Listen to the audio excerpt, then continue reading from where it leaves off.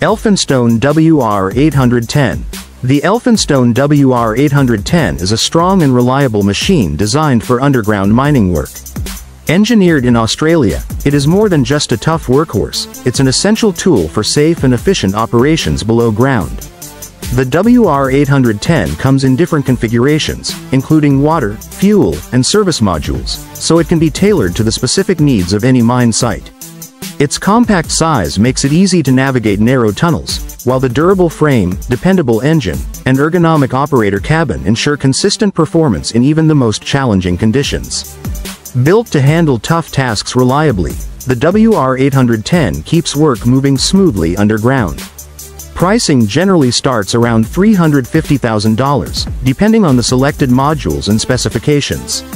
With its mix of strength, adaptability, and operator comfort, the WR810 is a practical and dependable choice for underground mining operations.